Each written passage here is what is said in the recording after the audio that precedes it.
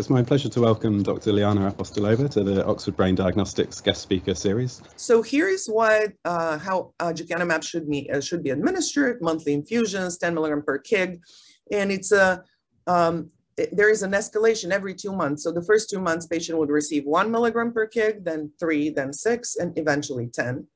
There are some recommendations if, if doses are missed, most commonly because of ARIA, to be honest, um, how to restart at which dose and where to conduct this, uh, this treatment. So here is the recommended ARIA monitoring. Um, as we recommend in the newest article, uh, basically there is this uh, initiation MRI, which um, is allowable to have it within a year prior to study start, but honestly, it's best to have it within three, four months so that there is a concurrent picture of how many microhemorrhages, if any, and strokes and white matter disease, all of that. The, the exclusionary criteria have to, have to be appreciated. And then, of course, if at any point in time there are symptoms, this is suggestive of ARIA, an MRI should be done right away.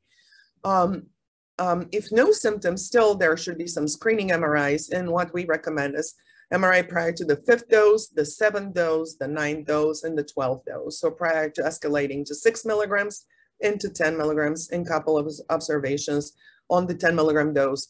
And these two that you see now marked with the arrow are in addition to what the trial was doing. So basically they had the screening MRI 7 and 12 dose, um, safety MRI checkpoints, and we are adding the fifth and the ninth.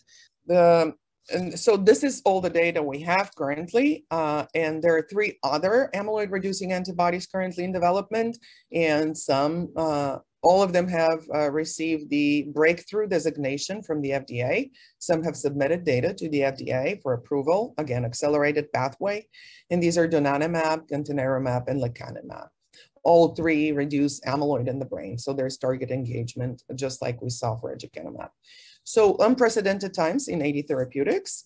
Um, selection of patient is really important for patient safety and the decision has to be done in uh, not by the physician, but rather by the patient and their family. If this is a good therapy after they're presented with the likelihood of clinical benefit, which is uncertain, and with the side effect profile of the drug.